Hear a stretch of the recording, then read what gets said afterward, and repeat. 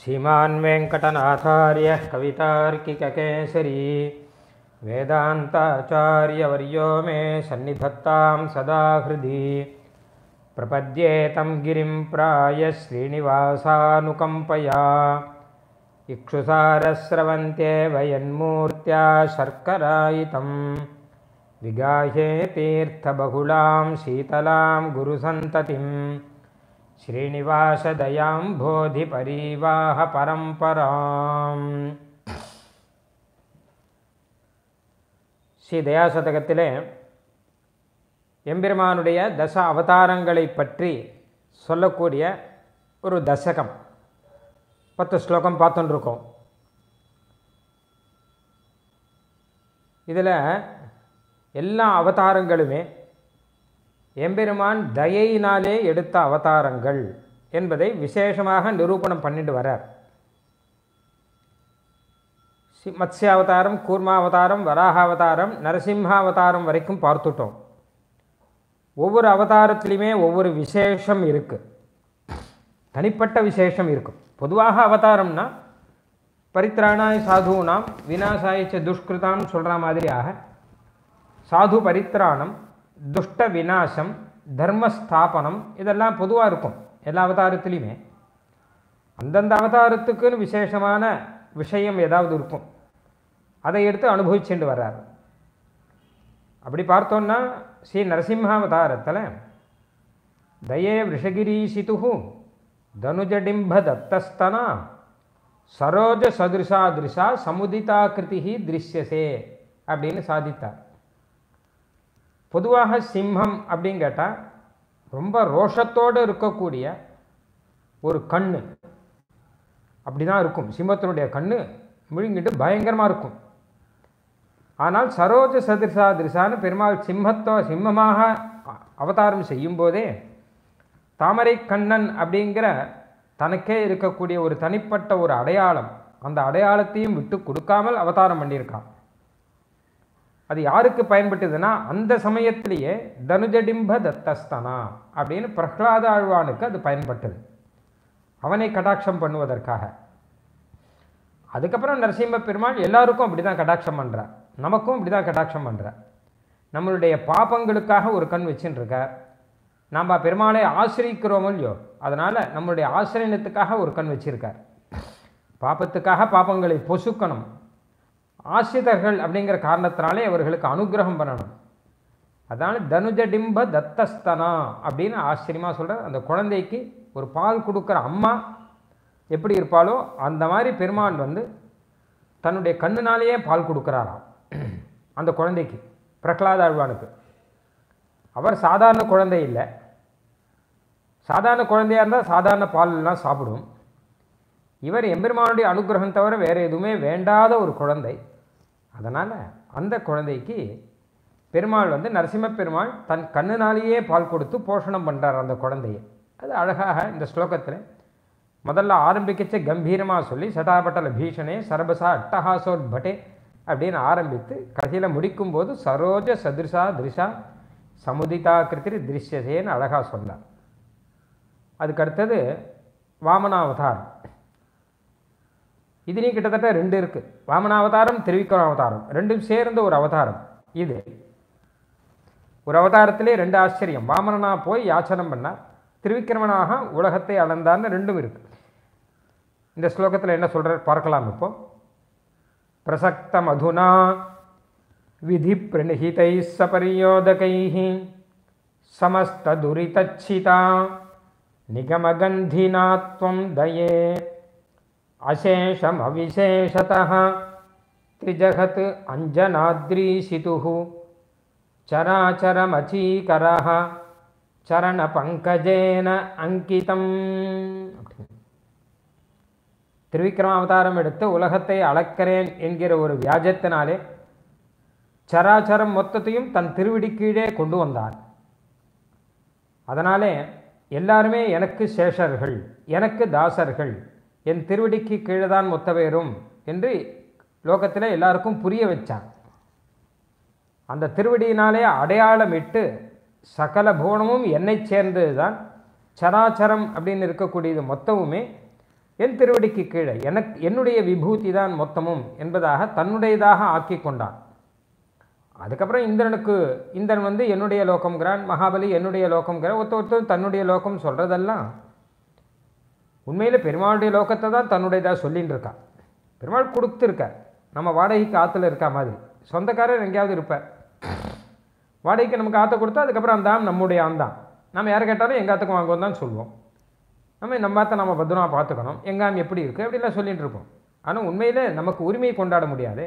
அந்த மாதிரியாக பெருமாள் வந்து இந்திரனுக்கு ஒரு லோகத்தை கொடுத்துருக்கார் சந்திரனுக்கு ஒரு லோகத்தை கொடுத்துருக்கார் சூரியனுக்கு ஒரு லோகத்தை கொடுத்துருக்காருன்னா அவர்களுக்கு பெருமாள் தன்னுடைய லோகத்திலேருந்து அவர்களுக்கு கொடுத்து வச்சிருக்கார். அதை நிரூபணம் பண்ண அவதாரம் இந்த திருவிக்ரம அவதாரம். அது மட்டுமல்ல அங்கே பெருமாள் உலகளந்த போது சத்தியலோகம் வரைக்கும் எம்பெருமானுடைய திருவடி போன போது பிரம்மாவானவர் அந்த திருவடிக்கு அவர் திருமஞ்சனம் பண்ண அந்த தீர்த்தத்தினாலே நமக்கெல்லாம் சுத்ததியை சுத்தியை கொடுக்குறார். கங்கா தீர்த்தம் அப்படிங்கிற தீர்த்தத்தினாலே எல்லாருக்கும் சுத்தி வருது இப்போ அழகாக இந்த ஸ்லோகத்தில் பிரசக்த மதுனா விதி பிரணிகிதை சபரியோதகை சமஸ்த துரிதச்சிதா நிகமகந்தினா தொந்தையே. சரண பங்கஜேன அப்படின்னு கடைசியில் சொல்கிறார் எம்பெருமானுடைய திருவடி தாமரை. அந்த திருவடி தாமரைக்கு இதெல்லாம் விசேஷனம். முதல்ல வந்து பிரசக்த மதுனா அப்படின்னு. நல்ல தேனோடு சேர்ந்து இருக்கிறது அப்படின்னு அர்த்தம். திருவடி தாமரையோ இல்லையோ? தாமரைப்பூ அப்படின்னா அதில் தேன் இருக்கணும் இல்லையோ? அந்த மாதிரி எம்பெருமானுடைய திருவடி தாமரையிலையும் ஒரு தேன் அப்படின்னு ஒன்று இருக்கான் மது. அப்படின்னா என்ன அர்த்தம் கேட்டால் அத்தனை போக்கியமாக இருக்குது என்ன அர்த்தம்? எம்பெருமானுடைய திருவடி தாமரை தான் சூட வேணும்னு எல்லாரும் ஆசைப்பட்டுருக்கார். மகா ஞானிகள் எல்லாருமே. இன் செம்மா பாதபற்பு தலை சேர்த்து அப்படின்னு நம்மாழ்வார் சொல்கிற மாதிரியாக உன்னுடைய திருவடி தாமரை என் தலையில் இருக்கணும். எம்மா வீட்டு திறமும் செப்பம் அப்படின்னு. ஏன்னா மோட்சம்னா இருக்கட்டும். எனக்கு வேண்டியது உன் திருவடி தாமரை அப்படின்னு சொல்கிறார் அந்த மாதிரி ரீதியில் ஞானிகளுக்கெல்லாம் பரம மதுரமாக பரம போக்கியமாக இருக்கக்கூடியபடியினாலே எம்பெருமானுடைய திருவடி தாமரையில் தேன் இருக்கிறது அப்படின்னு சொல்கிற வழக்கம். அத்தனை போக்கியமாக இருக்குன்னு அர்த்தம். நல்லா போக்கியமாக இருந்தால் உன்னுடைய வார்த்தையில் தேன் கலந்துருக்கு அப்படிலாம் சொல்கிறோம் இல்லையோ அந்த மாதிரி நல்ல ரசமாக இருக்குது என்பதாக அர்த்தம். திருவடி தாமரைன்னு சொல்லுவானேன்னு கேட்டால் அத்தனை மிருதுவாக இருக்கிறபடியினால் அது மாத்திரம் இல்லாமல் குளிர்ச்சியாக இருக்கிறபடியினால் ரமணீயமாக இருக்கிறபடினால் அது அழகாக இருக்கிறபடினால சகல விதத்தினாலையும் அது தாமரைக்கு சமானமாக இருக்குது அதனால் திருவடி தாமரை பூ போல இருக்குது அப்படின்லாம் சொல்லாமல் திருவடி தாமரை அப்படின்னு தான் சொல்கிற வழக்கம். திருவடியே தான் தாமரை அப்படின்னு சொல்கிற வழக்கம். அதனால் தாமரை பூக்கு இருக்கக்கூடிய அத்தனை குணங்களோடு கூட மார்தவம் முதலான குணங்கள் எல்லாத்தோடையும் கூட மார்தவம் என்ன சௌந்தரியம் என்ன ரஷ்யத்துவம் என்ன அழகாக இருக்கிறது என்ன எல்லாத்தோடையும் கூட இருக்கக்கூடிய திருவடி தாமரையில் பிரசக்த மதுனா அப்படின்னு தேன் சேர்ந்து இருக்கிறது அப்படின்னார். எம்பெருமானுடைய திருவடி தாமரையில் தேன் சேர்ந்து இருக்கு அப்படிங்கிறத வாழ்ந்து வந்து வெறுமை சொல்லலை வேதத்தில் இருக்கிற விஷயம் அது. விஷ்ணோ பதே பரமே மத்வ உத்ஸஹா. அப்படின்னு அழகாக சொல் ஸ்ரீ விஷ்ணு சூக்தத்தில் விஷ்ணுவனுடைய திருவடியிலே தேன் இருக்கிறது வேதமே எடுத்து சொல்கிறது என்ன போக்கியமாக இருக்குங்கிற அர்த்தத்தில் தான் வேதமும் சொல்கிறது அதனால தான் வேதம் சொல்கிற அர்த்தத்தை தான் சொல்கிறாங்க ஆழ்வாராச்சாரியர்களாக ஏதோ கற்பனையாக சொன்னால் கூட கிட்டத்தட்ட எங்கேயாவது வேலை வேதத்திலேயோ புராணத்திலேயோ எங்கேயாவது இருக்கும். அவன் சொல்கிறது தான் முக்கால்வாசி சொல்லுவாள் அதனால் அப்படி இருக்கக்கூடியது. இப்போ தேன் எப்படி வந்தது அப்படின்னு கேட்டால் இது அனாதியாக இருக்குது அது மட்டும் இல்லை வேறு விதமாகவும் சொல்லலாம். விதி பிரணிஹிதைஹி சபரியோதகைஹி. விதினா பிரம்மா. பிரம்மாவானவர் நிறையா சபரியா பண்ணார் பூஜை பண்ணார். அந்த சபரியா உதகம்னா பூஜா தீர்த்தம் திருவாராதன தீர்த்தம். பிரம்மா சமர்ப்பித்த திருவாராதன தீர்த்தங்களாலே அதுவே தேனாக இருக்குது அப்படின்னு ஒரு அர்த்தம் வச்சுக்கலாம். இல்லை பொதுவாகவே எப்போவுமே மது பிரசக்தியோடு கூட இருக்குது தேனோட எப்போவுமே கூட இருக்குது அப்படிங்கிற அர்த்தம் வச்சுக்கலாம். பிரம்மா வந்து திருவடியை அபிஷேகம் பண்ண சமஸ்த துரிதச்சிதா அந்த அந்த கங்கா தீர்த்தத்தினாலே சகல பாபத்தையும் போக்கடிக்கக்கூடியது. எது? திருவடி தாமரை. சமஸ்த துரிதச்சிதா நிகமகந்தினா. அடுத்து நிகமகந்தினா வேத வாசனையோடு கூட இருக்குது தாமரை அப்படின்னா வாசனை தாமரைனா தேன் இருக்கணும். தாமரைனா வாசனை இருக்கணும்.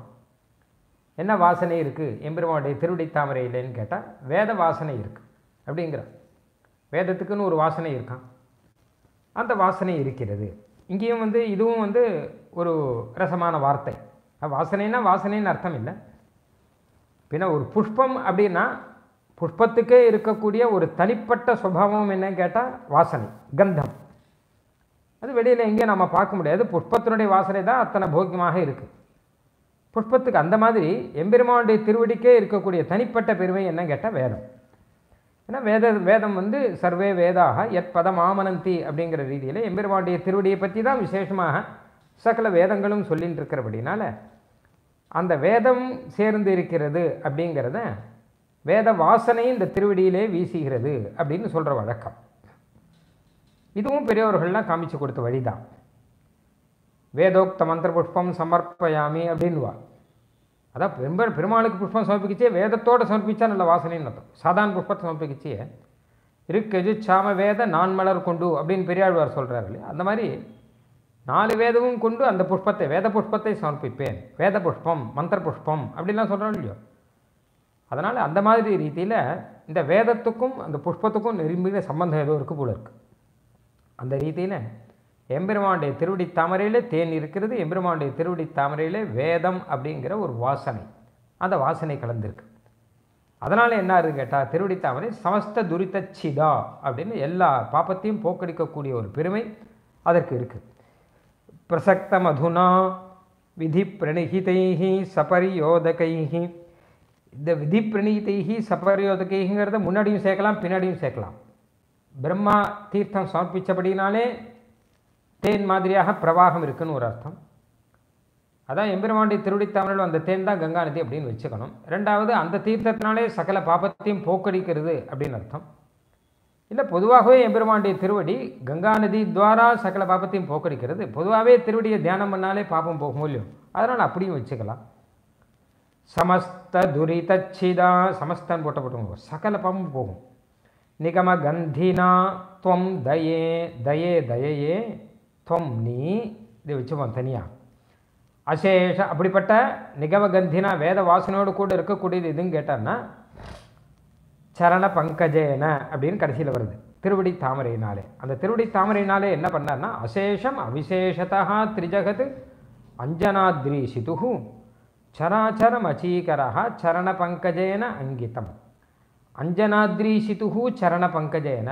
அஞ்சனாத்ரி அப்படின்னு இருக்கக்கூடிய திருமலை அதனுடைய ஈசிதாவாக இருக்கக்கூடியவன் திருமலை பெருமா திருமலையப்பன் திருவேங்கடமுடியான். அவனுடைய சரண பங்கஜத்தினாலே தயையே நீ எம்பெருமானுடைய திருவடியை கொண்டு லோகத்தை எல்லாம் அளந்து எல்லாருடைய சிரஸ்லையும் உன்னுடைய திருவடியை வைத்து எல்லாரும் எனக்கு சொந்தமானவர்கள் என்பதாக ஒரு அடையாளம் இட்டு அருளினாய் அப்படின்னு அர்த்தம். சராச்சரம் அச்சீகரா சரண பங்கஜேன அங்கிதம். திருவடி தாமரையினாலே அடையாளம் இட்டு விட்டாய் ஒரு அடையாளம் இடுறதுனா என்ன சார்? தன்னுடையது அப்படிங்கிறதுக்காக ஒரு சீல் ஒன்று வைக்கிறா இல்லையா? அந்த மாதிரி எம்பெருமான் தன் திருவடி தாமரையினாலே அடையாளம் வச்சுட்டானாம். இதெல்லாம் என்னுடையது? மொத்தமுமே. அசேஷம். மொத்தமும் அர்த்தம். ஒன்று பாக்கி இல்லாமல் மொத்தமும் அவிசேஷதா ஒரு விசேஷம் இல்லாமல் மொத்த விஷய மொத்த திரிஜகத்தும் அப்படின்னு அர்த்தம். திரிஜகத்து மூணு லோகம் கீழ் லோகம் மேல் லோகம் நம்ம லோகம் எல்லாமே அஞ்சனாத்ரி சிதுஹு சராச்சரம் அசேஷம் சராச்சரம் அப்படின்னு வச்சுக்கணும். எல்லா சராச்சரமும் அவிசேஷத்தகான ஒரு வித்தியாசம் இல்லாமல் எனக்கு வசப்பட்டது தான் என்னுடையது தான் அப்படிங்கிறதாக தன்னுடைய சரண பங்கஜத்தை இட்டு அங்கிதம் அடையாளமிடப்பட்டதாக ஆக்கினாய். அசேஷம் அவிசேஷதா திரிஜகத் அஞ்சனாத்ரி சிதுகு சராச்சரம் அச்சீகரா அச்சீகரனா ஆக்கினாய்னு அர்த்தம். யார் ஆக்கினான்னா தயே தொன் முன்னாடி வந்திருக்கு. தயையே நீதான் எம்பெருமானுடைய திருவடியை கொண்டு அடையாளமிட்டு மொத்தமும் எம்பெருமானைச் சேர்ந்தவர்கள் எல்லாருமே என்பதாக காண்பித்தருளினாய் அப்படின்னு அர்த்தம். நமக்கு சொந்தமானதுன்னு சொல்லிட்டு ஒரு ஆஃபீஸில் வந்து ஆஃபீஸுக்கு சொந்தமானதுன்னா முதல்ல அதில் ஒரு சீல் வச்சுருவான். இது எங்கள் ஆஃபீஸுக்கு சொந்தமானது. லைப்ரரியில் புக்கு கொண்டு போய் கொடுத்தோம் வச்சுக்கோங்க. உடனே அந்த லைப்ரரி தன் வசப்படுத்துறதுக்காக முதல்ல லைப்ரரியில் ஒரு சீல் வச்சுருவான். இனிமேல் இந்த லைப்ரரிக்கு சொந்தமானது என்பதாக அர்த்தம். அந்த மாதிரியாக எம்பெருமான் சீல் வச்சுருக்காங்க எனக்கு சொந்தமானதுன்னு அங்கனம் பண்ணியிருக்கான் எல்லாருடைய சிரஸ்லேயும். அன்றைக்கே ஆயிடுத்துது திருவிக்கிர பெருமாளுடைய அவதாரத்திலேயே நம்ம எல்லாருடைய சிரஸ்லையும் கூட எம்பெருமான் வந்து திருவடியை வைத்து விட்டு நீங்கள் என்னை சேர்ந்தவர்கள் அப்படின்னு சொல்லிட்டான். நமக்கு தான் அது புரியல. இப்போ புரியுறது இத்தனை நாளைக்கு அப்புறம் இப்போ புரியுறது இப்போ போய் பெருமாள் கிட்ட போய் நீ உன்னுடைய திருவடித்தாமரையை என் சிரஸில் வைக்கணும் அப்படின்னு பிரார்த்திச்சா. அப்போ பெருமாள் சிரிக்கிறார். நான் தான் ஏற்கனவே வச்சாச்சே. நீங்கள்னா என்னுடைய தாசர்கள் சொல்லியாச்சே அப்படின்னா ஆள வந்தார் சொல்கிறார் அது பொதுவாக சொன்னது இருக்கட்டும். பொதுவாக திருவடி தாமரையை என் சிரஸில் வச்சது இருக்கட்டும். இப்போ மறுபடியும் இன்னொரு வாட்டி வைத்து எனக்கு புரிஞ்சப்பனும் ஒரு வாட்டி செய்யணும். நான் பாட்டுக்கு தெரியாமல் இருந்துட்டேன். தெரிஞ்சப்பறம் அனுபவிக்கணும் இல்லையா? அதனால் இப்போ எனக்கு மறுபடியும் இந்த திருவடி தாமரை என் சிரஸில் தனியாக வைக்கணும். முன்னாடி அபிசேஷத்தகான்னு சொன்னேன். ஒரு விசேஷம் இல்லாமல் எல்லாருக்கும் நீர் அனுகிரகம் பண்ணி இப்போ விசேஷமாக எனக்கு அனுகிரகம் பண்ணணும் அப்படின்னு ஆளவந்தார் சாதிக்கிறார். கதா புனசங்க ரதாங்க கல்பக துவஜாரவிந்தாங்குஷ வஜ்ஜர லாஞ்சனம் திருவிக்ரம தொச்சரணாம்புஜத்வயம்.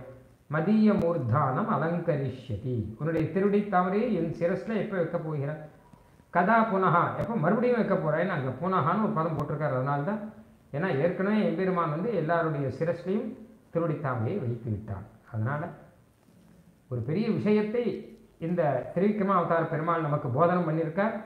சுவாமி தேசிகன் இங்கே சாதிக்கிற விஷயம் இதுதான். அதாவது எம்பெருமான் வந்து வாமனாவதாரமாக பூமியை யாசிச்சா திரிவிக்ரமாவதாரத்தில் லோகத்தை எல்லாம் வளர்ந்தார்னு சரித்திரங்கள்லாம் எல்லாருக்கும் தெரியும். ஆனால் நமக்கு இதில் பெரிய பாடம் ஒன்று இருக்குது என்னன்னு கேட்டால் எம்பெருமானுடைய திருவடி கீழே அவனுடைய திருவடி நிலையிலே இருக்கக்கூடிய நாம் எல்லாரும் அவனை சேர்ந்தவர்கள். அவனுக்கு சொந்தமானவர்கள் அப்படிங்கிறது தான் இந்த உண்மையை காண்பிப்பதற்காக தான் அன்றைக்கி லோகத்தை எல்லாம் வளர்ந்ததெல்லாம் மொத்தமுமே. அதை புரிஞ்சுட்டு அதுக்கப்புறம் சாஸ்திரத்தில் என்ன இருக்கோ அதை நம்ம செய்யணும். அதை புரிய வைக்கிறதுக்காக எம்பெருமான் பண்ண அவதாரமாக இது. அப்படின்னு இதில் வந்து எம்பெருமான் திருவடி தாமரை அப்போ நம்ம ஆசைப்படணுங்கிறதுக்காக அதில் இருக்கக்கூடிய போக்கியத்துவத்தை காமிக்கிற பிரசக்த மதுனா அப்படின்னு சொல்லிட்டு. அந்த திருவடி தாமரை மூலம் நம்மளுடைய பாபங்கள் எல்லாம் போகுங்கிறதுக்காக காமிக்கிற சமஸ்த துரிதச்சிதா அப்படின்னு சொல்லிட்டு. நம்ம இந்த திருவடி தாமரையை நாம பூஜை பண்ணணும் அப்படிங்கிறத காமிக்கிற நிகமகந்தினா அப்படின்னும் வேதத்தில் சொல்லப்பட்ட பெருமை இருக்குன்னும் பிரம்மா பூஜை பண்ணால் அதிலிருந்து கங்கா நதி வந்தது அப்படின்னும் இந்த விஷயங்கள் எல்லாம் விசேஷமாக இருக்கிறதையும் சூச்சனம் பண்ணி அந்த திருவடிக்கீழே நாம் என்றென்றைக்கும் தாசர்கள் அப்படிங்கிறதை நமக்கு புரிய வைக்கிறவர் திருவேங்கடமுடைய தயை. அதை புரிய வைக்கிறதுக்காக அவர் திருவிக்ரம அவதார பெருமாளை அவதாரம் பண்ண வைத்து உலகளக்க வைத்து எல்லாருடைய சிரசையும் போய் உன் திருவடியில் வச்சுட்டு வாருன்னு இத்தனை சொல்லி வச்சுருக்கேன் சரி தயாதேவி சொன்னபடினால பெருமாளும் அப்படியே அப்படின்னு சொல்லிட்டு நேரம் வந்து எல்லா சிரசையும் சராச்சரம் அச்சே அசேஷத்தகான்னு எல்லா சராச்சரத்தினுடைய தலையிலையும் தன் திருவடியை வைத்திருக்கார் பிரசக்த மதுனா விதி பிரணிஹிதைஹி சபரியோதகைஹி சமஸ்த துரிதச்சிதா நிகமகந்தினா त्वं दये अशेषम् अविशेषतः त्रिजगत् अञ्जनाद्रीशितुः சராச்சரம் அச்சீகரஹ சரணபங்கஜேன அங்கிதம். அச்சீகரஹன செய்தாயின் அர்த்தம். எல்லா சராசரத்தையும் திருடினாலே அங்கிதம் அடையாளமிடப்பட்டதாக நீ ஆக்கிவிட்டாய் அப்படின்னு அர்த்தம். இன்னொரு வேடிக்கையான ஒரு விஷயம் வியாக்கியானத்தில் இருக்குது திருவடி தாமரையினாலே அடையாளமிடணும்னு வச்சுக்கோங்களேன். அப்போ அந்த திருவடியில் ஒரு அடையாளமிடுறதுக்காக ஏதாவது ஒன்று இருக்கணும். அதாவது இப்போ வந்து கருப்பு மை வச்சு அடையாளம் இடுறோம் அதை சீல் வைக்கும்போது கருப்பு மை அப்படின்னு ஏதோ ஒன்று வைக்கிறோம் அது மாதிரி திருவடினாலே அடையாளம் வைக்கிறோன்னா அதில் ஏதாவது இருக்கிறமே ஒட்டும்படியான வஸ்து ஏதாவது இருக்கிறமே அப்படின்னு கேட்டால் அதுக்கு தான் அஞ்சனாத்ரி சிதுகு அப்படின்னு சொல்கிறாராம் ஏன்னா அஞ்சனாத்ரி அப்படின்னு இருக்கோ இந்த திருமலைக்கு பெயர். அஞ்சனம் அப்படின்னா மைன்னு ஒரு அர்த்தம். அதனால திருவேங்கடமுடியான் வந்து ரொம்ப நன்னா புரிய வச்சிருவான் அப்படின்னு திருவிக்கிரம பெருமாள் அறுபடியாக புரிய வைப்பார் திருவேங்கடமுடியான் நன்னா புரிய வைக்கிறான் நமக்கு நீங்கள் எல்லாருமே என்னை சேர்ந்தவர்கள் தான் அப்படிங்கிறது இங்கே மறுபடியும் திரும்பி திருவேங்கடமுடியான் வர்றபடினால மலை மேலேருந்து எல்லாருக்கும் அனுகிரகம் பண்ணுறபடினால அவன் நல்லா புரிய வைக்கிறான். அவனுடைய தான் திருவிக்கிரம அவதார பெருமாளை அவதாரம் பண்ண வைத்தார் அப்படின்னு ஒரு சுவாரஸ்யமான ஒரு அர்த்தம். அதுலேயும் இங்கே இருக்கு. சராச்சரம் அப்படிங்கிறபடினால லோகத்தில் சரம் அப்படின்னா அசைந்து போகக்கூடிய வஸ்துக்கள் அர்த்தம். அச்சரம் அப்படின்னா அசையாத வஸ்துக்கள் அப்படின்னு அர்த்தம். அதாவது ஸ்தாவரங்கள் செடி கொடி முதலானதெல்லாம். இங்கே பொதுவாக ஜீவர்களை தான் சொல்கிறார் அதாவது இதில் ஒரு சுவாரஸ்யம் ஒன்று இருக்குது எம்பெருமான் லோகத்தை அளந்தான் அப்படின்னா அந்த லோகமெல்லாம் தன்னுடையதாக ஆக்கி கொண்டான் அப்படின்னும் போது லோகம் அப்படின்னா நாம் எதை எடுக்கிறோம்? அச்சேதன வஸ்துவை போய் லோகம் அப்படின்னு சொல்லுவோம் பொதுவாக அப்படிதான் நம்ம சொல்கிறோம் மண் அப்படின்னா அந்த பூமி தானே. அதை தானே சொல்லிட்டு இருக்கோம். பூமி மண் வீடு அப்படின்னா அதுதானே சொல்லிட்டு இருக்கோம். அப்போ அதில் தான் சண்டை வந்தது. இந்திரனுக்கும் மகாபலிக்குள்ள சண்டையெல்லாம் வந்ததெல்லாம் அந்த மண் பிரச்சனை தானே. இந்த லோகம் என்னுடையதா உன்னுடையதா அப்படின்லாம் அவன் நினச்சிட்டு இருக்கான் எம்பெருமான் வந்து தன் திருவடி தாமரையினாலே இந்த லோகத்தை அளந்தான் அப்படின்னு தான் இருக்கு. ஆனால் இதில் விசேஷமாக நாம் அனுபவிக்கிறது வேண்டியது என்ன கேட்டால் இந்த அச்சேத்தனமான மண்ணையும் அச்சேத்தனமான ஆகாசத்தையும் அச்சேத்தனமான மற்ற லோகங்களையும் எல்லாத்தையும் அளந்தான்ங்கிறது நமக்கு என்ன விஷயம் இருக்குது இது எம்பெருமான் எடுத்துட்டா அந்த லோகம் அவனுக்கு சொந்தம் இருக்கட்டும். ஆனால் நமக்கும் சேர்ந்து நம்மையும் சேர்ந்து அளந்திருக்கான். சேத்தனர்களான வஸ்துக்களையும் சேர்த்து வச்சு அளந்திருக்கான். ஏன்னா உள்ளே இருக்கிற ஜீவர்கள் எல்லாமும் சேர்த்து வச்சிருக்காங்க. அப்போ சேத்தனா சேத்தனம் மொத்தத்தையும் அளந்தபடினாலே அச்சேத்தனங்கள்லாம் எப்படி எம்பெருமானுக்கு சொந்தமானதோ அதே ரீதியில் கொஞ்சம் கூட வித்தியாசம் இல்லாமல் சேத்தனமும் சொந்தமானது அதுவும் சொந்தமானது. தான் அதனால நம்ம நம்ம நம்ம சேத்திரனாக இருக்கிறபடினால இது எனக்கு சொந்தமானதோ அப்படின்னு கேள்வியெல்லாம் வரும். அந்த கேள்வியெல்லாம் வரக்கூடாதுங்கிறதுக்காக தான் சொல்கிறேன் சராச்சரம் அப்படிங்கிற. அதாவது என்ன கேட்டால் இப்போ அச்சரமான இது ஸ்தாவரமெல்லாம் ஸ்தாவரம் எல்லாம் இருக்குன்னு வச்சுக்கோங்க. மரம் எல்லாம் இருக்குன்னு வச்சுக்கோங்க. இல்லை பூமி முதலானதெல்லாம் இருக்கும். அதெல்லாம் வந்து சண்டை போடாது எம்பெருமான் கிட்ட இது உன்னுடையது இல்லை என்னுடையது தான் அப்படின்னா சண்டை போடலாம் தெரியாது அதுக்கு. எம்பெருமான் வந்து அளந்து என்னுடையது அப்படின்னா அது பேசாமல் தான் இருக்கும். அது எம்பெருமானது தான் அது எதிர்க்காது. ஆனால் சேத்தனானவன் சில பேர் எதிர்ப்பான். அப்படி உம்முடையது இல்லை அப்படின்வான் நான் அகம் எப்படி சொல்கிறான் தொம்மே அகம்மேன்னு சொல்கிற மாதிரி நீ என்னை சேர்ந்தவன் அப்படின்னு பெருமாள் சொன்னால் இல்லை இல்லை நான் உன்னை சேர்ந்தவன் இல்லை நான் சுதந்திரனானவன் அப்படின்னு ஜீவாத்மா சொல்கிறான் ஆனால் அப்படி சொல்லக்கூடாது. அச்சரம் மாதிரி இருக்கணும். அச்சர வஸ்துக்கள் எல்லாம் எப்படி எம்பெருமான் நீ என்னை சேர்ந்தவன் சொன்னால் பேசாமல் இருக்கிறியோ அந்த மாதிரி நாங்களும் பேசாமல் இருக்கோம். அதை ஒத்துக்கணும். ஆமாம் அதை எதிர்க்கக்கூடாது அப்படின்னு ஒரு விஷயம். அதுக்காக இந்த சராச்சரம்னு சேத்தனா சேத்தன வஸ்துக்கள் எல்லாத்தையுமே எம்பெருமான் அளந்தான் இதில் சேத்தன வஸ்துக்களை அளந்தான் நம்மையும் சேர்த்து அளந்தான் அப்படிங்கிறது தான் முக்கியம். மண்ணை இருந்து துடாவி வாமனன் மண்ணு இது என்னும். விண்ணை தொழுது அவன் மேவு வைகுந்தமென்று கை காட்டும் என்பதாக நம்மாழ்வார் சொல்கிற மாதிரி மண்ணெல்லாம் பார்த்து வாமனனுடைய மண் அப்படின்னு சொல்கிறாராம் இந்த நாயகி ஆனவர் அந்த மாதிரி அச்சேத்தன வஸ்துவை சொல்கிற மாதிரி அவரும் இந்த பெருமான் கிட்ட ஈடுபட்டு இருக்கார் அந்த மாதிரியாக சேத்தன வஸ்துவும் எம்பெருமானுக்கே உரியது. நானும் எம்பெருமான எம்பெருமானுக்கே சொந்தமானவன் அப்படிங்கிற அர்த்தம் இது. இப்போ அடுத்த ஸ்லோகம் பார்க்க போகிறோம் இதில் பரசுராம அவதாரம். பரசுராம அவதாரத்தில் தயையை பற்றி சொல்கிறதுல கொஞ்சம் கஷ்டம் இருக்குது ஏன்னா அவர் தயினால் என்ன காரியம் பண்ணார்? அப்படின்னு பார்க்கணும் அவர் நிறைய க்ஷத்திரியர்களை கொன்று குவித்தார் அப்படின்னு தான் இருக்குது சுவாமி தேசியன் அதுலேயும் ஒரு அழகான விஷயம் சாதிக்கிறார் பரஸ்வத தபோதன பிரதன சத்கிருதூபாகிருத क्षितीश्वर पशुक्षर क्षतज कुङ्कुमस्थासकैः वृषाचलदयालुना ननु विहर्तुमालिप्यथाः निधाय हृदये दये निहतरक्षितानां हितम्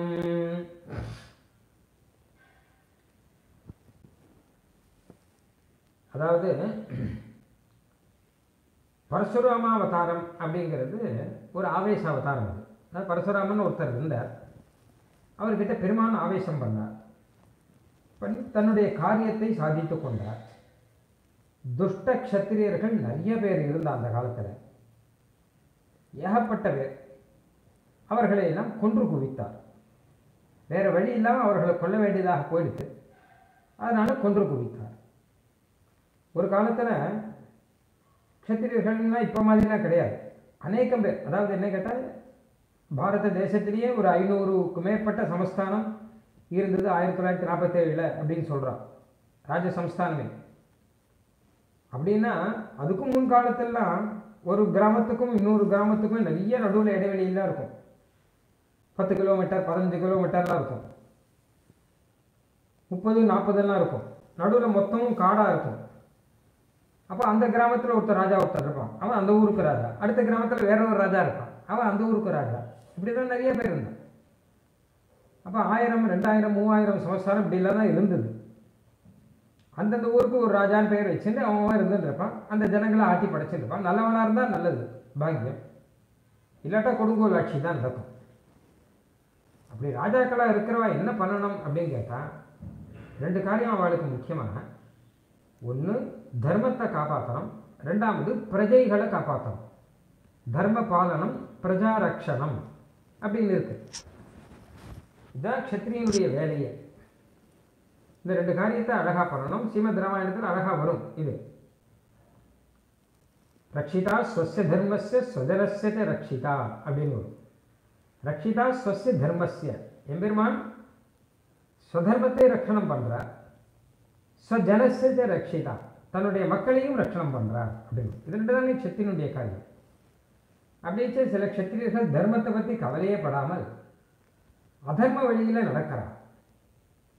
அதாவது தர்மத்துப்படி யார் யார் வர்ணாசம தர்மங்களை அனுஷ்டானம் பண்ணுறாளோ அவளையெல்லாம் ஹிம்சை பண்ணிவிட்டு நான் தான் ராஜா நான் சொல்கிற மாதிரி தான் கேட்கணும் அப்படி இப்படின்னு சொல்லிட்டு இருக்கேன் அந்த மாதிரி இருக்கிறவர்கள் வர்ணாசிரம தர்மங்களை எல்லாம் மதிக்காம அதனுடைய நாசத்துக்கு ஏற்பாடு பண்ணவர்கள் தன்னுடைய மக்களையும் சரியாக ரட்சிக்காம ராஜபோகம் அப்படின்னு ஆனந்தமாக இருக்கிறவர்கள் இப்படியெல்லாம் நிறைய பேர் இருந்தார் பரசுராமர் இருந்த காலத்திலேயே நல்ல ராஜாக்கள் நிறைய பேர் இருந்தா.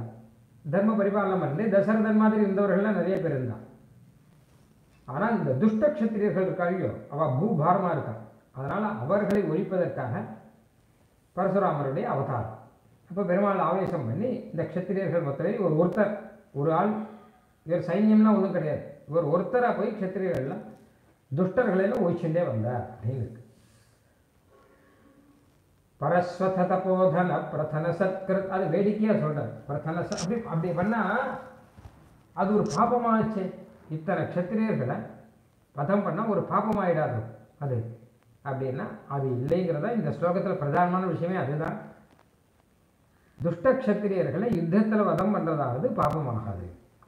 ஏன்னா தேசத்தினுடைய க்ஷேமத்துக்காக பண்ணும்போது அதுவும் க்ஷத்திரியர்கள்லாம் பண்ணும்போது அது ஒரு தோஷமே கிடையாது. அது வதமே இல்லை. வதம்னே சொல்லக்கூடாது அதை. ஏன்னா அது ஒரு நல்ல காரியம் அப்படின்னு அர்த்தம். பரசுராமன் என்ன பண்ணான்னு கேட்டானா இருபத்தோரு முறை சத்திரியர்களை ஒழித்து அவர்களுடைய ரத்தத்தை வச்சு அவரை தர்ப்பணம் எல்லாம் பண்ணார் அப்படின்னா இருக்கு அது இதெல்லாம் ஒரு பெரிய தோஷம்னு சொல்லக்கூடாது. ஏன்னு கேட்டாருன்னா இது க்ஷத்திரிய தர்மம் அப்படிங்கிற ஏன் க்ஷத்திரிய தர்மம் இது அப்படின்னு கேட்டாங்கன்னா துஷ்டர்களை ஒழிக்கிறது க்ஷத்திரிய தர்மம். வேற யாராவது பண்ணா அது தப்பு. பொதுவாக யுத்தம் கூடாது அப்படிங்கிறது பொதுவான ஒரு தர்மம். யாரும் யாருடைய சண்டை போடக்கூடாது. யுத்தம் கூடாது அப்படிங்கிறது பொதுவான தர்மம். ஆனால் தர்ம யுத்தம்னு ஒன்று இருக்கும் இல்லையா? அது க்ஷத்திரியர்கள் செய்தே ஆகணும். தர்மத்துக்காக நடக்கிற யுத்தம் தர்ம யுத்தம். தர்ம ரட்சணத்துக்காக நடக்கிற யுத்தம் தர்ம யுத்தம். அது க்ஷத்திரியர்கள் பண்ணணும் பண்ணி ஆகணும். அவளுடைய தர்மம் அது. அதுதான் பகவத்கீதையில் வரும். யுத்தேச்சா பிரபலாயனம் கிருஷ்ணன் சொன்னா அர்ஜுனன் கிட்ட அர்ஜுனன் நீ யுத்தம் பண்ணணும் இது உன்னுடைய தர்மங்கிற நீ யுத்தம் பண்ணாட்டா தப்பு. ஏன்னா அது தர்ம யுத்தம். பாண்டவர்களுக்கும் கௌரவர்களுக்கும் நடந்த யுத்தம் தர்ம யுத்தம். தர்ம யுத்தத்தை நடத்தி ஆகணும்னா கிருஷ்ணன் தான் நடத்துறதே யுத்தத்தை. பொதுவாக மற்ற எல்லாம் சில பேர்லாம் யுத்தம்னால தப்பாச்சே யுத்தம்னாலே அதெல்லாம் சாதாரணது. இது வந்து க்ஷத்திரியருடைய விசேஷ தர்மம். அப்படி. க்ஷாத்திரம் கர்ம ஸ்வபாவஜம். க்ஷத்திரியருடைய கர்மப்பா இது இது அவசியம் செய்யணும் அப்படிங்கிறார் கண்ணன் இல்லாட்டா அதர்மம் ஜெயிச்சிடும் அதர்மம் ஜெயிக்கக்கூடாது. தர்மம் தான் ஜெயிக்காது. அந்த தர்ம ரட்சணங்கிறது க்ஷத்திரியர்களுக்கு முக்கியமான ஒரு காரியம். இதை பண்ணாமல் இருந்தான்னு வச்சுக்கோங்க க்ஷத்திரியர்கள். தர்ம ரட்சணம் பண்ணலைன்னா அப்போ அவளை ஒழிச்சோம்னா யுத்தத்தில் வாழ பண்ணால் அது ஒரு தர்மம் அப்படின்னு ஆகும். ஏன்னா க்ஷத்திரிய தர்மம் தானே அது? அது அடிக்கடி உதாரணமாக என்ன சொல்கிற வழக்கம் கேட்டால் நம்ம பாரத தேசத்தில் இப்போவே நம்ம எடுத்துக்கோமே. இப்போயே வந்து ஒருத்தர் இவன் அவனை கொண்டான் அவன் இவனை கொண்டான்னா அதெல்லாம் தப்பு. ஐயோ யாரும் யாரையுமே கொல்லக்கூடாது அடிக்கக்கூடாது அஹிம்சைன்னு சொல்கிறோம் ஆனால் அதே சமயம் காஷ்மீர காஷ்மீரத்தில் தீவிரவாதிகளை போட்டு இராணுவத்தினர் கொள்கிறார்கள் அப்படின்னா அது தப்பே கிடையாது. அது அவசியம் செய்ய வேண்டியது. செய்யட்டால் தான் தப்பு. அப்படின்னு நம்ம சொல்ல முடியும். அவகிட்ட போய் நீ வந்து ரொம்ப சாந்தமாக இருக்கணும் அப்படின்னு உபதேசம் பண்ணலையே. நீ சாந்தமாக இருக்கணுங்கிற உபதேசம்லாம் அங்கே பண்ணக்கூடாது. யுத்தம் பண்ணணுங்கிறது அவளுக்கு உபதேசம். அதுதான் கிருஷ்ணன் காட்டின பகவத்கீதை. தஸ்மாத் யுத்தியஸ்வ பாரதா. ஆகையினாலே அர்ஜுனா எழுந்து யுத்தம் பண்ணு அப்படிங்கிற இது இன்னொருத்தர் போய் சொல்லலையே க்ஷத்ரிய தானே சொல்கிறேன் உன்னுடைய கர்ம உன்னுடைய கர்ம தானே இது உன்னுடைய தர்மம் தானே இது அப்படிங்கிறார். அந்த மாதிரியாக பரசுராமர் பண்ண இந்த ஒரு க்ஷத்திரிய வதம் அப்படிங்கிறது கொல்லியம் இது ஒரு தோஷம் இல்லை. இது அவர் அவர் செய்ய வேண்டிய ஒரு காரியமாக இருந்தது. ஏன்னா துஷ்ட க்ஷத்திரியர்களை வதம் பண்ண வேண்டியதாக இருந்தது அப்படின்னார். அதுக்கு ஒரு உதாகரணம் எப்படி பிராமணர்களெல்லாம் பண்ணுற யாகத்தில் பசுவதா அப்படின்னு ஒன்று உண்டு. பசு அப்படின்னா மிருகம்னு அர்த்தம். பொதுவாக யாகத்தில் ஒரு ஆடு எடுத்து அந்த ஆட்டை தேவர்களுக்கு சமர்ப்பிக்கணும். அதுக்கான மந்திரங்கள் எல்லாம் நிறையா இருக்குது அது வந்து இது ஒரு ஹிம்சை ஆகுமோ அப்படின்னு ஒரு பிரச்சனை வரும். அப்போ இது ஹிம்சை இல்லை அப்படின்னு வேதனை சொல்லும். நவா உவே தன்மிரிய சேனரிஷ்யசி தேவாகும் இதேஷி பதிபி சுகேபின்னு சில மந்திரங்கள்லாம் இருக்குது அது மாத்திரமே இல்லாமல் மீமாம்சா சாஸ்திரத்தில் வேதாந்த சாஸ்திரத்தில் எல்லா சாஸ்திரத்துலேயும் பெரியவர்கள்லாம் பெரியவார்கள்லாம் சொல்லி வச்சிருக்கா நிறைய பேர் அனுஷ்டானமும் பண்ணியிருக்கா. தேவர்களுக்கான ஒரு அன்னம் அது. அவர்களுக்கான ஒரு ஆகாரம். அந்த ஆகாரத்தை மந்திரப்படி விதிப்படி செய்யும் பொழுது இவனுக்கு அந்த தோஷம் கிடையாது. அப்படின்னு ஒன்று ரெண்டாவது அது மட்டும் இல்லாமல் அந்த கொல்லப்படக்கூடிய அந்த பசு இருக்கும் இல்லையோ பசுனா மிருகம். ஆடுதான் முக்கால்வாசி ஆடுதான் இருக்கும். அது வந்து சொர்க்கத்துக்கு போகும். எஜமானும் சொர்க்கத்துக்கு போவான் யாகம் பண்ணுறவன் சொர்க்கத்துக்கு போவான். அந்த ஆடும் சொர்க்கத்துக்கு போகும். ஆடு ஆடு வந்து என்ன ஆனாலுமே சரி ஆடு வந்து இந்த மிருகம். அதாவது மாம்சத்துக்கான மிருகம் அது. பொதுவாக கிராமங்களில் இப்போ கூட கிராமத்தில் ஆடு வளர்க்குறோம் எதுக்காக ஆடு வளர்க்குறான் யோசிச்சு பார்த்தா தெரியும். பசுமாடு வளர்க்குறவன் எதுக்காக வளர்க்குறான் கேட்டால் பாலுக்காக வளர்ப்பான் காளை மாடு வளர்க்குறவன் எதுக்காக கேட்டால் வண்டி ஓட்டுறதுக்காக வளர்ப்பான் இது மாதிரி ஒன்று ஒன்றும் வைப்பான். ஆனால் கிராமத்தில் சகஜமாக ஆடு வளர்க்குறது உண்டு. எல்லா கிராமத்திலும் இப்போவும் உண்டு. எல்லா கிராமத்திலும் நிறைய பேர் ஆடு வளர்க்குற உண்டு. அவன்கிட்ட கிழங்கு ஆடு எழு எதுக்காக வளர்க்குறோம் அப்படின்னு கேட்டான் ஒரே ஒரே பர்பஸ் தான். ஒரே பிரயோஜனம் தான் ஆடு வளர்க்குறது. அதை அடித்து சாப்பிட்றதுக்கு தான் வளர்க்குறேன் வேற ஒன்றும் காரியம் கிடையாது உங்ககிட்ட. அப்போ எ- என்ன வேதம் என்ன சொல்கிறதுன்னு கேட்டால் எப்படியா இருந்தாலும் ஆடு போக போகிறது எவனோ ஒருத்தன் அடித்து சாப்பிட போகிறான் அந்த ஆடு இன்னொருத்தனுக்கு ஆகாரமாக போகிறத காட்டிலும் நமக்கு ஆகாரமாக போகிறத காட்டிலும் தேவர்களுக்கு ஆகாரமாக அதை சமர்ப்பித்தோம்னா அது வந்து சொர்க்கத்துக்கு போகும். அது ஒரு ஜீவனும் இல்லையோ. அந்த ஜீவன் வந்து சொர்க்கத்துக்கு போகும் அப்படின்னு இருக்கு இது வேதம் காமிக்கிறது இந்த விஷயத்தை. அப்போது பிராமணர்கள் பரம வைதிகர்கள் பரமசிஷ்டர்கள் அவர்கள்லாம் சத்கிரது அப்படின்னு சொல்லக்கூடிய நல்ல ஒரு யாகத்தை பண்ணும்பொழுது அதில் இந்த ஹிம்சாதி தோஷங்கள்லாம் எதுவுமே கிடையாது. யாகத்துக்கே அத்வரம் தான் பெயர். யாகத்தில் எந்த விதத்திலையும் ஹிம்சை கலக்கக்கூடாது. பல வித இன்னும் பல விதத்தில் ஹிம்சை கலக்கக்கூடாதுன்னு வேதம் நிறைய சொல்கிறது அப்படி இருக்கச்ச அவா பண்ணுறதுல எப்படி வதம்ங்கிறது ஆகாதோ ஏன்னா அது சொர்க்கத்துக்கு தானே போகிறது அந்த ஆடுங்கிறது. அது கண்ணாபனான் வேற எங்கேயோ ஒரு வயத்துக்கு போகிறத காட்டிலும் சொர்க்கத்துக்கு போகிறது அப்படிங்கிறபடினால மந்திரத்தை சொல்லி அதை பண்ணுறபடினால தோஷம் ஆகாது அப்படின்னு சாஸ்திரம் எல்லாம் சொல்லியிருக்கு. அதே மாதிரி தான் பரசுராமர் பண்ணதும். இவரும் இப்படி இவரும் பண்ணது ஒரு யாகம்தான். ஏன்னா க்ஷத்திரியர்கள்லாம் யுத்தம் பண்ணுறது யுத்தமே ஒரு யாகம் மாதிரி தான் அவர்களுக்கு. அதனால் அந்த யுத்தத்தில் இந்த எதிரி ராஜாக்கள் இருக்கையோ அவர்களை எல்லாம் பசுக்களாக ஆக்கியிருக்கார். பசுன்னா மிருகமாக ஆக்கி பலி மிருகம் அப்படின்னு சொல்லுதா ஆமாம் வேணும் பலி மிருகமாக பலிகடா அப்படிலாம் சொல்கிறாள் இல்லையோ. இப்படிலாம் சொல்லக்கூடாது அப்படின்னு புரியவெல்லாம் சொல்லுவாள் நான் புரியறதுக்காக சொல்கிறேன் அப்படி ஆக்கி வச்சிருக்கேன். அந்த துஷ்ட கஷத்திரியர்களை எல்லாம். அவளும் கடைசியில் யுத்தத்தில் அவர்கள்லாம் தோற்று போய் யுத்தத்தில் மரணம் வந்து வச்சுக்கோங்க. அவள் சொர்க்கத்துக்கு தான் போவான் க்ஷத்திரியர்களுக்கு யுத்தத்தில் மரணம் வந்தால் அவர்களுக்கு நேர சொர்க்கம். அதுவும் சாஸ்திரத்தில் சொல்லியிருக்கு. அதுவும் பகவத்கீதையிலே அது வரும். யுத்தத்தில் யுத்தத்தில் வந்து அதாவது ஹத்வாவா ஜிதோவா போக்ஷசே மஹீம். அதாவது அர்ஜுனை பார்த்து சொல்கிற நீ யுத்தத்தில் ஜெயிச்சியானா உனக்கு பூமி. நீ யுத்தத்தில் தோற்று போய் ஒன்றா அவர்கள் கொண்டுட்டான்னா அப்போ உனக்கு சொர்க்கம் அப்படின்னு வரும். ஏன்னா யுத்தத்தில் மரணமானால் சொர்க்கம் க்ஷத்திரியர்களுக்கு. எப்படி ஆனால் யாகத்தில் மரணமாற ஆடுக்கு சொர்க்கம் உண்டோ அது மாதிரி யுத்தத்தில் மரணமாற க்ஷத்திரியனுக்கு சொர்க்கம் உண்டு. இது வீர சொர்க்கம் அப்படின்னு சொல்லுவாங்க. வீர சொர்க்கம் எழுதினார். அப்படிலாம் தமிழில் சொல்லுவாங்க. அந்த மாதிரி ரீதியில் அந்த யாகம் மாதிரி தான் இதுவும் பரசுராமர் பண்ணுறதும் அது ஒரு யாகம் மாதிரி தான் இருக்குது இப்போ நம்ம ரெண்டையுமே புரிஞ்சுக்கணும். ஏன்னா இந்த காலத்தில் கொஞ்சம் கஷ்டப்பட்டு தான் புரிஞ்சுக்கணும். ரெண்டும் ரெண்டு தர்மம். க்ஷத்திரியர்கள் யுத்தம் பண்ணுவது அப்படிங்கிறதும் ஒரு மகாதர் ரெண்டு சாதாரண தர்மம் கிடையாது. ரெண்டும் மகா தர்மம். க்ஷத்திரியர்கள் யுத்தம் பண்ணுவதும் மகா தர்மம். அந்த மாதிரியாக பிராமணர்கள் யாகம் பண்ணுவதும் மகா தர்மம். இந்த ரெண்டு தர்மத்திலையும் மேலோட்டமாக பார்த்தோமானால் அப்போ நமக்கு ஏதோ ஹிம்சை இதில் கலந்திருக்கே இதெல்லாம் தேவையா அப்படின்னு தோணும். ஆனால் உள்ளே புகுந்த ரெண்டும் பரமதர்மம் அப்படிங்கிறது புரியும். அதனால் இதையே உதாரணமாக அதையே உதாரணமாக வச்சு பரசுராமர் பண்ணதும் ஒரு யாகம்தான் அப்படிங்கிறத இங்கே அழகாக சொல்கிறார் இன்னொரு ஸ்லோகம் ஒன்று இருக்குது இதுவும் வியாக்கியானத்தில் இங்கே எடுத்திருக்கான் இது வந்து மனுஸ்மிருதியில் இருக்கிற ஸ்லோகம். ஒரு ராஜாவானவன் தண்டனை கொடுத்தானானால் அப்போது ராஜாவுக்கு அந்த தோஷம் கிடையாது. அதாவது ஒருத்தருக்கு வத சிக்ஷையை கொடுக்குறோம் வச்சுக்கோங்க. ரொம்ப பெரிய தப்பு பண்ணுவனுக்கெல்லாம் ராஜா என்ன பண்ணுவார்? தண்டனை அப்படின்னு கேட்டால் தூக்கல் தூ தூக்கல் இடணும் அப்படின்லாம் சொல்லுவார்.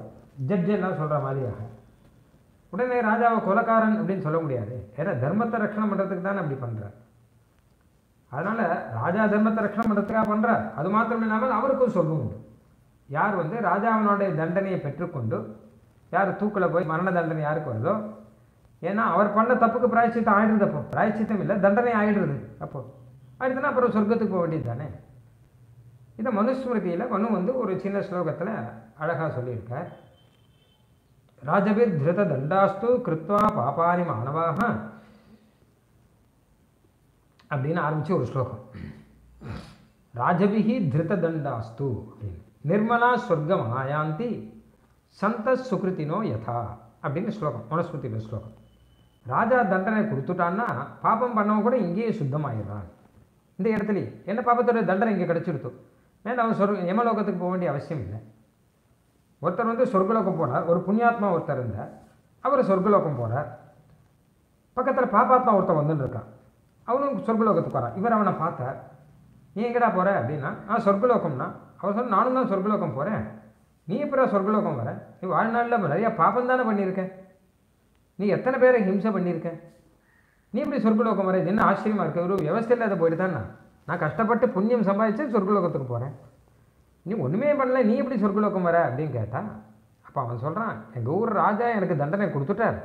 தூக்கு தண்டனை கொடுத்துட்டார். அதனால் என்னுடைய பாப்பங்களுக்கெல்லாம் தண்டனை அனுபவிச்சாச்சு. அதனால் நான் சொர்க்கத்துக்கு போகிறேன் நான் இனிமேல் நரகத்துக்கு போக வேண்டியது இல்லையோ இல்லையோ? அதனால் நான் சொர்க்கத்துக்கு போகிறேன் அப்படின்னு இது என்ன ஆச்சரியம்? அப்படிங்கிறான் ஏன்னா நரகத்தில் தப்பிச்சுட்டான் ஆனால் நிர்மலா சொர்க்கம் ஆயாந்தி சந்த சுகிருத்தினோ யதா சத்துக்கள் மாதிரி ஆயிடுறான் அவன் அப்படின்னு ஒரு ஸ்லோகம் இருக்கு. அந்த ரீதியில் பரசுராமனாலே கொல்லப்பட்ட க்ஷத்திரியர்கள் அவர்களுக்கு நல்லது தான் நடந்திருக்கு. ஏன்னா அவர்கள் துஷ்டர்களாக இருந்தால் கூட அவர்களை சங்கிராமம் சொல்லக்கூடிய அந்த யுத்தத்தில் யாகத்தில் பசுவை கொள்கிற மாதிரி யுத்தத்தில் அவர்களை கொன்னபடினாலே அவர்கள் சொர்க்கத்துக்கு போயிடுறான் அவளுடைய அந்த துஷ்டத்தனம்லாம் இருக்கும் இல்லையோ என்னென்ன அநியாயங்கள்லாம் பண்ணாலும் அதுக்கெல்லாம் தண்டனை இங்கேயே கொடுத்துட்டார். அதனால் நல்லதாக போயிடுது. அதனால் யாகம் மாதிரி இது பரசுராமர் பண்ணியிருக்கார். அப்போ இது பரசுராமர் பண்ணது தயா காரியமா? இல்லை தயை இல்லாமல் பண்ணாரா? இத்தனை பேரை கொன்னார. அப்போ தயை இல்லாமல் கொன்று குவித்தார் அப்படின்னு தானே சொல்லுவேன் பரசுராமருக்கே அப்படி ஒரு பெயர் உண்டு. என்ன மகா கோபிஷ்டர்? மகா ரோஷம் உள்ளவர் ரோஷராம அப்படின்னு சொல்கிறாரு இல்லையோ ரோஷராம கருணா காக்குஸ்தா அப்படின்லாம் வருது இல்லையோ அவர் ரொம்ப ரோஷமானவர். அதுதான் அப்படின்னா இந்த ஸ்லோகத்தெலாம் சுவாமி தேசியன்னு சொல்கிறார் அதெல்லாம் வெறுமை லோக திருஷ்டினாலே சொல்கிறதே தவிர உண்மையில் பார்த்தா பரசுராமர் ரொம்ப தயை உள்ளவர். அப்படின்னு தயாசதகத்தில் தயாசதகத்தில் தயை உள்ளவர் தானே சொல்லணும். அப்படிங்கிறதுக்காக சொல்லலை. ரோஷம் உள்ளவர் பரசுராமர் கோபத்தினாலே பண்ணால் கோபம்னு ஒன்று இருக்குது அவருக்கு. அது ஒன்றும் சந்தேகம் இல்லை. அவர் கோபத்தினால தானே இன்னொருத்தரை கொள்கிறார் ஆனால் அந்த கோபங்கிறது அநியாயமான கோபம் இல்லை. அது நியாயமான கோபம். அது தயினாலே வந்த கோபமாக அது தயினால கூட கோபம் வருமா அப்படின்னு கேட்டால் நமக்கு வேண்டிய வாழ்க்கிட்ட தயினால கூட நமக்கு கோபம் வரும். நம்ம குழந்தைகிட்டே நம்ம கோவிச்சிக்கிறது இல்லை. அம்மா அப்பாலாம் குழந்தைகிட்ட கோபிச்சிக்கிறா என்ன கேட்டால் தயனால தான் கோபிச்சார். குழந்தை நல்லா இருக்கணுமேங்கிறதுக்கு தான் நான் கோபிச்சிக்கிறேன் அதனால் தயினாலே வந்த கோபம் இது. அந்த கோபத்தினாலே அவர்கள் உழைத்தாரே தவிர உண்மையில் தயை இல்லைங்கிறது கிடையாது. தயை அவர்கிட்ட தான் நிறையா இருக்குது நிறைய தயை இருக்கிறபடினால்தான் அவளை போட்டு தங்கத்தை வந்து அக்னியில் போட்டால் அது சுத்தமாகும். நல்ல பியூர் தங்கமாயிடும். அந்த மாதிரி இவர்களை வதம் பண்ணாதான் சரியாகும். லோகமும் பிழைக்கும் இவர்களும் பிழைப்பார்கள் அப்படின்னு ஆகும். அந்த மாதிரி பண்ணிட்டாராம். நிதாய ஹிருதயே தயே நிகத ரக்ஷிதானாம் ஹிதம் தயே தயே நிகத ரக்ஷிதானாம். நிகதானா கொல்லப்பட்டு ரக்ஷிதானா காப்பாற்றப்பட்டு. நீ யாரை கொல்றியோ அவர்களே காப்பாற்றப்படுகிறார்கள். அவர்களே காப்பாத்துற. நிகதி அப்படிங்கிறது இருக்கும் இல்லையோ ஜெகத் ரிபுஷு நிகதே ரேவ ஹிததா அப்படின்னு ரகசிய சாஸ்திர ஸ்லோகம். நீ கொல்லுவதே கொல்லுவதே நன்மை அப்படின்னு இருக்கான் சில பேர்கிட்ட. அங்கே ஸ்ரீ ராமாவதாரத்தை சொல்கிறாருங்க ராமன் இத்தனை ராட்சதாவில் கொன்னார் அப்படின்னா கொன்னார்னு சொன்ன நல்லது தான் பண்ணிருக்கார் அப்படின்னார். அந்த மாதிரியாக நிகதா ரக்ஷிதா அப்படின்னா லோகத்தில் ரெண்டு இருக்குது நிகதான கொல்லப்பட்டான்னு அர்த்தம். ரக்ஷிதானா காப்பாற்றப்பட்டான்னு அர்த்தம். இது ரெண்டும் நேர் எதிர். ஏன்னா கொல்லப்பட்டான்னா அப்போ அவனை காப்பாற்றலன்னு அர்த்தம். காப்பாற்றப்பட்டான்னா அவனை கொல்லலைன்னு அர்த்தம். ஆனால் இங்கே கொல்லப்பட்டு காப்பாற்றப்பட்டவர்கள் மொத்த பேரும். ஏன்னா அவளை கொன்னாதான் அவளுக்கு ஒரு ரக்ஷணம் அப்படிங்கிற மாதிரி அவ்வளோ பாபிஷ்டர்களாக இருக்கா. ஹிதம் அவர்களுக்கு ஹிதத்தை. நிகத ரக்ஷிதானாம் ஹிதம். ஸ்லோகம் இப்போது கொஞ்சம் கடினமான ஸ்லோகம். நம்ம பார்க்கலாம். அர்த்தத்தை. பரஸ்வதபோதன பிரதன சத்கிருதூபாக்கிருத க்ஷிதீஸ்வர பசுக்ஷரத் க்ஷதஜ குங்குமஸ்தாசகைஹி இது வரைக்கும் ஒரே பதம் இருக்குது மொத்தமாக ஒரு அர்த்தம் என்ன கேட்டால் பரசுராமர் அப்படின்னு ஒருத்தர் இருந்தார். அவர் தபோதனர். பரசு ஆயுதத்தை கையில் வச்சுட்டு ஒரு ரிஷியா மு முதல்ல இருந்தார். அப்போ அவர் யுத்தம் பண்ணி அந்த யுத்தம் அப்படிங்கிறதே ஒரு யாகமாக அவர் பண்ணார். அதில் நிறையா பசுக்களை எல்லாம் சமர்ப்பித்தார். யார் பசுக்கள் அப்படின்னா க்ஷத்திரியர்கள் துஷ்ட க்ஷத்திரியர்கள் அப்படிங்கிற பசுக்களை எல்லாம் சமர்ப்பித்தார். அப்போ க்ஷதஜ குங்கும ஸ்தாசகை அது அவர்களுடைய ரத்தம் இருக்கும் இல்லையோ அதையே குங்குமமாக எடுத்து அதையே குங்கும பூச்சாக தயாதேவிக்கு கொடுத்தாராம். பெருமாள் விஷாச்சல தயாளுனா திருவேங்கடமுடையான் அப்படிங்கிறவன் பரமதயாளு அவன் ஒரு லீலை பண்ணணும்னு ஆரம்பித்தான் அந்த லீலையில் இந்த குங்கும பூச்சை தயாதேவியை உனக்கு கொடுத்தான். அப்படின்னு நிதாய ஹிருதயேதையே நிகதரக்ஷிதானாம் ஹிதம். நிகதரக்ஷிதர்கள் யார் இருக்காளோ யாரை கொன்று தான் காப்பாற்றணும் அவளை கொண்டு தான் காப்பாற்றணும் கொல்லாமல் காப்பாற்றினா பரவாயில்ல. பெருமாளே இன்று போய் நாளை வான்னு சொன்னார் ராவணன் கிட்ட. இன்று போய் நாளை வான்னு சொல்லச்சே எத்தனை வாத்சல்யம் இருந்ததோ அதுக்கு குறைவில்லாமல் தான் மறுநாள் கொல்லச்சியும் இருந்தது. கொல்லணுங்கிற எண்ணம் கிடையாது. அதனால் நிதாய ஹிருதயே தயே தயே ஹிருதயே நிதாய. உன்னுடைய ஹிருதயத்தில் நீ என்ன வச்சுட்டு இருக்க அப்படின்னு கேட்டால் நிகத ரக்ஷிதானாம் ஹிதம். யார் கொல்லப்பட்டு காப்பாற்றப்படுகிறார்களோ அவர்களுக்கு ஹிதத்தையே தான் மனசில் வச்சுருக்கார் இருக்கார் தயே நீ மனசில் அதை தான் வச்சுருக்க எல்லாரையும் கொல்லணுங்கிற மனசில் வைக்கல. அவனுக்கு ஹிதத்தை பண்ணணுங்கிறது தான் மனசில் வச்சுருக்கேன் அந்த ஹிதங்கிறது அவர்களுக்கு இந்த மாதிரி தவிர வேறு விதமாக பண்ண முடியாமல் இருக்குது அதனால் அவர்களை கொல்லுவதே தான் ஹிதம் அப்படிங்கிற நிலைமை இருக்கிற அப்படின்னால நீ அப்படி பண்ணியிருக்கிறாய். ஒரு யாகத்தில் பசுக்கள் மாதிரியாக அந்த க்ஷத்திரியர்களை எல்லாம் தொலைந்து போனார்கள். இது வந்து தயையினுடைய ஒரு காரியம்தான் அப்படிங்கிற இப்போ ஸ்லோகத்தினுடைய உள்ளுக்குள்ளே கொஞ்சம் அர்த்தம் பார்க்கலாம். பரஸ்வத தபோதன பிரதன சத்கிரது உபாக்கிருத பரஸ்வத அப்படின்னு அந்த கோடாலி ஆயுதம் இவர் கையில் வச்சுருக்காரு இருக்காரு அதுக்கு பரஸ்வதன் தப்போதனர் தபோதனர் அப்படிங்கிறவர் இவர் பரசுராமர். இவர் வந்து ஒரு ஒரு காலத்தில் தப தபஸ்வி அதாவது பரசுராமங்கிறவர் பிராமணனாக இருந்து ஆனால் க்ஷத்ரிய சுபாவத்தோடு இருந்தவர். இவருடைய தகப்பனார் ஜமதக்னி அப்படின்னு அவர் ஒரு பெரிய தபோதனர் அவரை கொண்டுட்டார் அதுக்கு பதிலுக்காக தான் அவரை கொண்டவர்கள் தான் இந்த துஷ்ட க்ஷத்திரியர்கள் அதனால தான் இவருக்கு கோபம் வந்தது. ஜமதக்னி மகரிஷி உட்காந்து தபஸ் பண்ணிட்டு இருக்கார். காட்டில் உட்காந்து தபஸ் பண்ணிட்டு இருக்கிற அவரை வந்து சிரச்சேதம் பண்ணிட்டு போயிருக்கார் காத்தவேரியர் முதலான ராஜாக்கள் எல்லாம். காட்டில் உட்காந்து தபஸ் பண்ணின்னு இருக்கிற ரிஷிகள் அவரை சிரச்சேதம் பண்ணுற அளவு போச்சுன்னா தர்மம் எவ்வளோ கெட்டு போச்சுன்னு பாருங்க. அந்த அளவு தர்மம் கெட்டு போன ஒரு காலம். அந்த அளவு க்ஷத்திரியர்கள் அகம்பாவம் பிடிச்சி இருந்த ஒரு காலம். நல்லதை காப்பாற்ற முடியும்? அவன் வந்து சேவி கேட்டால் பரவாயில்ல. வந்து சிரச்சேதம் பண்ணிட்டு போகிறதுனா எந்த அளவு துஷ்டத்தனம் இருந்திருக்கு? அதனால தான் இவருக்கு கோபம் வந்தது. இப்போ துஷ்ட க்ஷத்திரியர்களை ஒழிக்கணும்னு நினச்சார்.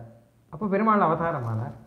பரசுராம பெருமாள் அவருடைய சக்தியினாலே அந்த துஷ்ட க்ஷத்திரியர்கள்லாம் ஒழிச்சுட்டார் அப்போ அந்த த அவருடைய யுத்தங்கிறது இருக்கும் அது சத்கிரது அப்படிங்கிற பிரதன சத்கிரது யுத்தங்கிறது ஒரு நல்ல யாகம். அது ஒரு யாகமாக பண்ணாராம். பரஸ்வத தபோதன பிரதன சத்கிரது உபாக்கிருத அந்த யாகத்திலே உபகாரமாக என்ன சமர்ப்பிச்சார்னா க்ஷிதீஸ்வர ராஜாக்கள். பசு அந்த ராஜாக்கள் தான் மிருகங்கள் யாக மிருகங்கள். க்ஷரத்து அதிலிருந்து பெறுகிற க்ஷதஜ ரத்தம்னு அர்த்தம். க்ஷதஜம்னா குங்கும அந்த ரத்தத்தையே குங்குமமாக ஸ்தாசகைஹி பூச்சாக. குங்கும பூச்சாக தயாதேவிக்கு கொடுத்தாராம். இது வேடிக்கையாக சொல்கிற தயாதேவிக்கு குங்கும பூச்சி கொடுத்தார் அப்படின்னு அலங்காரத்துக்கு குங்கும பூச்சி தெளிப்பா இல்லையா? அந்த மாதிரியாக தெளிக்கிறாராம் இவர். என்ன தாற்பயம் கேட்டான்னா தயைக்கு பிடிச்ச காரியம் தான் பண்ணியிருக்கார் அப்படின்னு அர்த்தம். இது வந்து தயை இல்லாமல் பண்ணாருங்கிறது இல்லை தயாதேவிக்கு பிடிச்ச காரியத்தை அவர் பண்ணியிருக்கார் அப்படின்னு அர்த்தம். அது என்ன? க்ஷத்திரியர்களுடைய ரத்தத்தை எடுத்து போச்சா அது தயைக்கு பிடிக்கும்னா என்ன அர்த்தம் கேட்டால் துஷ்ட க்ஷத்திரியர்கள் அதுதான் இங்கே முக்கியமான விஷயம். ஏன்னா நல்ல காரியம் எது நடந்தாலும் பிடிக்குமோ இல்லையோ எப்படியானால் இப்போ யாகத்தில் சமர்ப்பிக்கிற அந்த மிருகம் இருக்கேன் அது எம்பெருமான் திருவுள்ள முகக்கிறான் பகவத் பிரீத்தியர்த்தம் சொல்லி தானே யாகம் பண்ணுறான் எம்பெருமான் தானே அதை திருவுள்ள முகக்கிறான். அந்த மந்திரங்கள்லாம் அப்படி தான் இருக்குது பபா பரிமளோல்லாச வாசிதா தரவல்லவம். முகம் வரதராஜஸ்ய முக்தஸ்மிதமுபாஸ்மஹே அப்படின்னு ஆச்சரியமான ஸ்லோகம் வந்திருக்கு பபா பரிமளோல்லாச பிரம்மா அஸ்வமேத யாகம் பண்ணும்போது அதில் ஒரு ஆடு அந்த அதில் அதில் ஒரு மிருகம். அந்த மிருகத்தை அவரை சமர்ப்பிக்கும் போது அஸ்வமேதத்தில் அஷ்டமிருகம். அந்த மிருகத்தை சமர்ப்பிக்கும்போது அதனுடைய வப்பா ஹோமம்னு ஒன்று பண்ணுவாள் அந்த வப்பான்னு ஒரு பாகம் சரீரத்தில் அதை எடுத்து ஹோமம் பண்ணுவாள் வப்பா பரிமளோல்லாச வாசிதாதர பண்ணம் அதனுடைய வாசனை அங்கே அவதாரம் பண்ண பெருமாள் வரதராஜ பெருமாள் அவருடைய திருமுகத்திலே திருவாயில் இருந்துதான். ஏன்னா அவர் ஏற்றுக்கொண்டார் அப்படின்னு இருக்கு. எம்பெருமானே நேர ஏற்றுக்கொண்டார் அப்படின்னு இருக்கு. தேவர்கள்லாம் ஏற்றுக்கலை எம்பெருமானே ஏற்றுண்டார் அப்படின்னு இருக்கு. அப்போ ஸ்வயம் அலத்தபாக சக்கராதயம் வரதபூர்வம் அலத்த பாகாக அப்படின்னு சொல்கிறாரு இல்லையா? தேவர்கள்லாம் கூட ஏற்றுக்கலை பெருமாளே நேரம் வந்து ஏற்றுண்டார் அப்படின்னு. அதனால இது யாகத்திலே மந்திரங்களை சொல்லி அவர்களுக்கு பிரசாதமாக சமர்ப்பிக்கிறது இது. நாமெல்லாம் எதை பிரசாதமாக சமர்ப்பிக்கிறோம் அப்படின்னா நம்ம எதை சாப்பிட்றோமோ அதை பிரசாதமாக சமர்ப்பிக்கிறோம். அதுதானே? நமக்கு சாஸ்திரங்கள்லாம் ரெண்டாம் பட்சம் நமக்கு நமக்கு எது சாப்பிட்றோம் நமக்கு நமக்கு இன்றைக்கி என்ன ஆகாரமோ நமக்கு ஏகாதசின்னா பெருமாளுக்கும் ஏகாதசி. ஏகாதசி நமக்கு ஒன்றும் ஏகாதசி நம்ம பழம் தான் வேற ஒன்றும் கிடையாது. இப்போ பெருமாளுக்கும் பழம் தான். அன்றைக்கி நம்ம பெருமாளுக்கு யாருக்காவது பெருமாளுக்கு நல்லா தள்ளி பண்ணி சமர்ப்பிக்கணும்னு தோணியிருக்கோம் நமக்கு கிடையாது. நம்ம ஆகாரம் எதுவோ அதை நம்மளுடைய ஆகாரம்னு இல்லாமல் பெருமாளுக்கு சமர்ப்பிச்சுட்டு அதுக்கப்புறம் நம்ம சாப்பிடணும். இதான் நம்ம வச்சுருக்கோம். இது சாஸ்திரம் தப்புன்னு சொல்லலை. நமக்கு இதான் முடியும். அதனால் எதன்னா புருஷோ பவதி ததன்னா ஸ்பெஷ தேவதாக சொல்கிறது சாஸ்திரம். இது வந்து தோஷமாக சாஸ்திரம் சொல்லலை. இதுதான் நாம் பண்ணுவோம். நமக்கு இது. ஆனால் பரமசிஷ்டமான பரம வைதிகமான யாகம் அப்படிங்கிறது இருக்கோ இல்லையோ அதனுடைய பிரக்கிரியை நமக்கு புரியாதுங்கிறதுக்காக நான் இதை சொல்கிறேன் ஏன்னா நாம் உண்மையில் பெருமாளுடைய பிரசாதம் நாம் சாப்பிட்றோம் அப்படிங்கிறது வாஸ்தவம். பகவத் பிரசாதம் பெருமாளுக்கு நிவேதம் பண்ணிட்டு சாப்பிட்றோம். அதனால் சேஷத்தை சாப்பிட்றோம். ஆனால் கூட நம்மளுடைய அபிசித்தி முதல்ல எப்படி இருக்குன்னு கேட்டால் நமக்கு வேண்டியது எதுவோ அது பெருமாளுக்கு சமைச்சிட்டு நம்ம சாப்பிட்ணும் அப்படிங்கிறது தான் இருக்குது இது வந்து சாதாரணமான ஒரு ஸ்திதி. இது தோஷமான ஸ்திதி கிடையாது.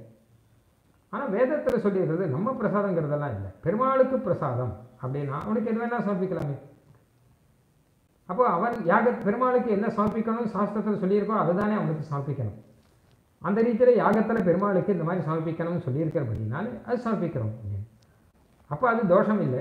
அப்போ அது பெருமாள் ஏற்றுக்கிறார் இல்லையா? அப்போ தயினோடு தானே ஏற்றுக்கிறார் அதெல்லாம் தயாதேவி ஏற்றுக்கிறார் அப்படிங்கிற அர்த்தத்தை தான் பரசுராமருடைய இந்த யுத்தம் அப்படிங்கிற யாகத்தில் இதில் வரக்கூடிய அந்த க்ஷத்திரியர்கள் இதில் கொல்லப்பட்ட அந்த க்ஷத்திரியர்களுடைய ரத்தம் இருக்கும் அது தயாதேவிக்கு குங்கும பூச்சாக இருந்தது அப்படின்னா தயாதேவி அதை ஏற்றுக்கொண்டார். ஏன்னா தர்மமானபடினாலே தயாதேவி அதை ஏற்றுக்கொண்டார். அது மட்டும் இல்லாமல் அது தயாதேவி ஏற்றுக்கிறபடினாலே அது சகலக்ஷேமம் அந்த லோகத்துக்கும் க்ஷேமத்தை கொடுக்கறது. யார் கொல்லப்பட்டார்களோ அவர்களுக்கும் சகல க்ஷேமத்தை கொடுக்குறவர்கள்லாம் இத்தனை பாபம் பண்ணவாள்லாம் கடைசியில்? எங்கே போய் சேரணும்? க்ஷத்திரியர்கள்லாம் இப்படி தர்மத்தை எல்லாம் தடுத்துட்டா கடைசியில் நரகத்தில் தான் போய் விடணும் ஆனால் மொத்த பேரும் பரசுராமலே கொல்லப்பட்ட பரசுராமராலே கொல்லப்பட்ட க்ஷத்திரியர்கள் எல்லாரும் சொர்க்கத்துக்கு போயிருக்கு வாலி சொல்கிற மாதிரியா வாலி சொல்கிறார் பெருமாள் ராமன் வாலி வதம் பண்ண உடனே நல்லபடி நான் சொர்க்கத்துக்கு போவேங்கிறார். நான் சொர்க்கத்துக்கு போகிறேன் எப்போ ஒன்றால் வதம் வந்துடுத்தோ அப்போ நான் சொர்க்கத்துக்கு போகிறேன் ஏன்னா என்னுடைய பாப்பத்தை நான் கழிச்சுட்டேன். நான் தப்பு பண்ணேன் வாஸ்தவம். தப்புக்கான தண்டனை நீ வந்துவிட்டேன் எனக்கு. அதனால் நான் தாராளமாக சொர்க்கத்துக்கு போகிறேன் ஆனால் என் தம்பி அவன் இங்கே சம்சாரத்தில் இருக்க போகிறான் அவன் இன்னும் என்ன கஷ்டப்பட போகிறானோ தெரியாது. அப்படிங்கிற அந்த வாதி.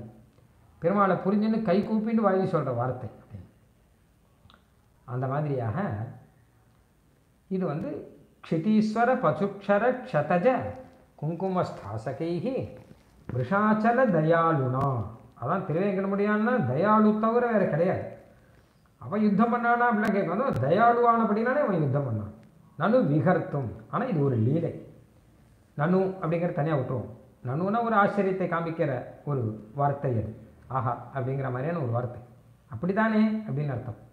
தயையே நான் சொல்கிறது சரிதானே அப்படிங்கிற தயா கிட்ட. நான் சொல்கிறது சரிதானே? திருவேங்கனுடைய தயாளு தானே அவன் ஒரு லீலையாக தானே இந்த பரசுராம லீலையை பண்ணியிருக்கான். விஷாச்சல தயாளுனா நனு விகர்த்தும் ஒரு லீலை பண்ணுவதற்காக நிதாய ஹிருதயேதையே நிகிதரக்ஷிதானாம் ஹிதம். நிகதரக்ஷிதானாம் யார் கொல்லாலோ அவளையே ரக்ஷணம் பண்ணி கொல்லுவதையே ரக்ஷணமாக மாற்றி அவர்களுடைய ஹிதத்தையே ஹிருதையே நிதாய அதையே எப்பவுமே தன்னுடைய மனசில் வச்சுட்டு வெள்ளம் கொன்று ஒய்ச்சுண்ணும் நாசமாக போகட்டும் அப்படின்னு நினைக்காமல் இந்த இத்தனை நட்சத்திரியர்களையும் நல்ல லோகத்துக்கு அனுப்பணும் அப்படின்னு ஒரு யுத்தம் பண்ணி அந்த யுத்தத்தில் அவர்களை எல்லாம் கொண்டு அதன் மூலம் அவர்களுக்கும் க்ஷேமத்தை கொடுத்து எல்லாருக்கும் இங்கேயும் க்ஷேமத்தை கொடுத்து இது ஒரு சங்கிராம அத்வரம் அப்படின்னு சம்ஸ்கிருதத்தில் அழகாக சொல்கிறார் ஒரு கவி. அந்த மாதிரி ரீதியில் இந்த மாதிரியான தர்மம் அப்படிங்கிறது அந் இந்த மாதிரியான யுத்தங்கிறது இது தர்ம யுத்தம் இது அப்பப்போ நடக்கணும் அப்படிங்கிறத காமிச்சு பரசுராமர் வந்து தர்மஸ்தாபனம் பண்ணியிருக்கார். இங்கே அதர்மஸ்தாபனம் பண்ணலை தர்மஸ்தாபனம் பண்ணியிருக்கார். அதில் தயினாலே அவர்களுக்கு க்ஷேமத்தையே கொடுத்தார் அப்படிங்கிறது தெரியுது. நிதாய ஹிருதயே தயே தயங்கிறத முதல்ல வச்சுக்கணும். தயையே ஹிருதயே நிதாய தன்னுடைய ஹிருதயத்தில் வைத்து எதை? ஹிதத்தை. நிகத ரக்ஷிதானாம் ஹிதம் அப்படின்னு. இப்படிப்பட்ட ஒரு விஷயம் ஆச்சரியமான ஒரு விஷயம். முதலே சொன்ன மாதிரியாக யாக விஷயமும் இப்போ சட்டுன்னு புரியாது. ஏன்னா யாகம் பண்ணுறவர்கள்லாம் குறைஞ்சு போயிட்டபடினால சங்கிராம விஷயம் சொல்கிறபடியால் இந்த யுத்த விஷயம் இருக்கும் இல்லையோ அதுவும் புரியாது. ஏன்னா அது இதெல்லாம் புரி புரிஞ்சு இதெல்லாம் அதாவது ஒரு உதாரணம் சொல்லணும்னா இன்றைக்கி தேசம் இருக்கிற ஸ்திதி எடுத்து பார்த்தோம் வச்சுக்கோங்க. எல்லாரும் இதை புரிஞ்சுட்டா சரியாக போயிடும். இன்றைக்கி நம்மளுடைய பாரத தேசம் இருக்கக்கூடிய ஸ்திதி எடுத்து பார்த்தான்னா சுற்றி இந்த பக்கம் அந்த பக்கம் எல்லாரும் யுத்தம் பண்ணுறேன் வரலாம் போட்டு ஒழிச்சா அது நல்லது. நல்லதுன்னு கேட்டான்னா அது தர்ம யுத்தம் அது. நாமளாம் யுத்தம் பண்ண வேண்டாம் அப்படிங்கிறதுனால அவர் பாகிஸ்தானோட யுத்தம் பண்ணாமல் இன்னி வரைக்கும் இருந்துட்டுருக்கான் இவா பாகிஸ்தான் பண்ணுற உபதிரவத்துக்கு வேறு தேசமாக இருந்தால் கட்டாயம் யுத்தம் பண்ணியிருப்பான் கட்டாயம் யுத்தம் நடந்திருக்கும். இன்னொரு தேசமாக இருந்தால் ஒரு அமெரிக்காவோ ஒரு இஸ்ரேலாகவோ இல்லை வேறு ஏதாவது ஒரு சீனாவாகவோ இருந்தால் இவா பண்ணுற உபதிரத்துக்கு நன்றாக யுத்தம் நடத்தியிருப்பா அதுதான் நியாயம். அந்த யுத்தம் பண்ணுறது தான் நியாயம். இப்போ ஏதோ இது இந்த இது சர்வதேசம் இது அது இது என்னமோ சொல்லிட்டு யுத்தம் பண்ணாமல் இருக்காளே தவிர ஏன்னா தர்மத்துக்காக யுத்தம் பண்ண தான் பண்ணணும். பண்ணுறது தான் நியாயம். ஏதோ சில இந்த காலத்து பிரக்ரியா அப்படின்னு சிலதெல்லாம் இருக்குது அதனால் அதெல்லாம் பார்த்து இன்னொரு பெரிய ஆபத்து என்ன கேட்டால் பாகிஸ்தான் இந்தியா மேலே யுத்தம் பண்ணாமல் இருக்கிறதுக்கு ஒரே காரணம் யுத்தம் பண்ணால் தோத்துருவோங்கிறபடினால தான் இல்லாட்டா கட்டாயம் யுத்தம் பண்ணுவான். நம்மளை காட்டிலும் கொஞ்சம் பலம் அதிகமாக இருக்குது அப்படிங்கிற ஒரு நிச்சயம் அவளுக்கு வந்துருத்தனா அடுத்த க்ஷணம் யுத்தம் பண்ணிடுவான். அவளோட சந்தேகம் அவள் யோசிக்கவே மாட்டான். அவளுக்கு அசக்தியினாலே அவள் பேசாமல் இருக்காள் தன்னால் முடியாதுன்னு தெரியும் அதனால் பேசாமல் இருக்காள் பாரத தேசத்தில் ஏன் பேசாமல் இருக்கா அப்படின்னா நமக்கு அசக்தி அப்படிங்கிறது இல்லை. யுத்தம் பண்ணால் ஜெயிக்க முடியலாம். ஆனால் நம்மளாம் யுத்தம் பண்ண வேண்டாம் அப்படின்னு நினச்சிட்டு இருக்கான் அப்படின்னு. ஆனால் யுத்தம் பண்ணாலும் அது நியாயம்தான். அதில் எந்த விதமான இதுவும் கிடையாது. சில நிர்பந்தத்தினால யுத்தம் பண்ணாமல் இருக்கும். ஆனால் யுத்தம் பண்ணாலும் அதுதான் உத்தமமான ஒரு தர்மம் அப்படிங்கிற. அதே மாதிரி தான் சமீப காலமாக வரக்கூடிய சைனா சீனா தேசத்தோடு கூட இருக்கக்கூடிய இப்போ ஸ்திதி அதுவும் இப்படி தான் இருந்துட்டுருக்கு. தேவையில்லாத உபதிரவங்கள் எல்லாம் வந்துட்டுருக்கு அப்படின்னு. அதனால் இது எல்லாத்துக்கும் பதில் சொல்கிற மாதிரி இருக்குது நமக்கும் எம்பெருமானுடைய அவதாரத்தை புரிய வைக்கிறது. எல்லாத்துக்கும் மேலே குறிப்பாக எம்பெருமான் ஹனமே ஹனனமே பண்ணால் கூட கொலையே பண்ணால் கூட அது ஹிதம்தான். ஹிதம் இல்லாமல் வேற பண்ண மாட்டார். பரசுராமர் அவதாரம் சொன்னதுக்கு அதுவும் ஒரு காரணம். அதாவது கடைசியாக ஒரே விஷயம் சொல்லி முடிக்க போகிறேன் இப்போ. பரசுராம அவதாரங்கிறது ஒரு ஆவேச அவதாரம்னு முதல்லையே சொன்னேன். அதான் பரசுராமன் ஒருத்தர் வரைக்கும் இருக்கார். அவர் இப்பவும் கேரள தேசத்தில் பரசுராமர் இருந்துன்னு இருக்கார் அப்படின்னு தத்வா கர்மணி தட்சிணாம் கொச்சனதாம் ஆஸ்கந்திய சிந்தும் வசன்னு அப்படிங்கிறார். அங்கே வசன்னு ஒரு படத்தை போட்டிருக்கார் சுவாமி. வசன்னா வசித்து கொண்டிருக்கிறார்னு அர்த்தம். அன்னைக்கு இல்லை. இன்றைக்கும் வசித்து கொண்டிருக்கிறார். வசித்தார் இல்லை. வசித்து கொண்டிருக்கிறார்னு அர்த்தம் வசன்னா. ப்ரெசண்ட் கண்டினியூஸ் அது வசன்கிறது. அப்படி இருக்கக்கூடியவர் பரசுராமர் இன்னைக்கும் இருந்துட்டு இருக்கார் ஆனால் அந்த அவதாரம் முடிஞ்சு போச்சு. ஏன்னா எம்பெருமாள் வந்து ஆவேசம் பண்ணார். அப்புறம் வந்து ஆவேசம் முடிஞ்சு போச்சு. எப்போ ஸ்ரீராமன் கிட்ட பெருமாள் வந்து பரசுராமர் வந்து பெருமாள் ஸ்ரீராமன் கிட்ட தன்னுடைய வில்ல கொடுத்துட்டாரோ இல்லையோ அதோட அந்த இது முடிஞ்சு போச்சு. அவதாரம் முடிஞ்சு போச்சு. அதுக்கப்புறம் பரசுராமர் அந்த ஜீவாத்மாங்கிறவர் அவர் அப்படியே இருந்துருக்கார் அவர் சிரஞ்சீவி அவர் அஸ்வத்தாமா பலிவியாசா அனுமாஞ்ச விபீஷணா கிருப பரசுராமஸ்ச சத்தைத்தே சிரஞ்சீவினஹா அப்படின்னு அவளுக்கு ஒரு பதவியில் இருக்காவா அவன் நல்லா இருப்பாள் இந்த பிர இந்த பிரளயம் வர வரைக்கும் இருப்பாள் அவனுக்கு சந்தேகம் இல்லாமல் இருப்பாள் அப்போது அந்த பரசுராமர்கிட்ட பெருமாள் எதுக்காக அவதாரம் பண்ணார் உள்ளுக்குள்ள ஆவேசமாக எதுக்காக வந்து அவதாரம் பண்ணுறார் சக்தி ஆவேசம் இது.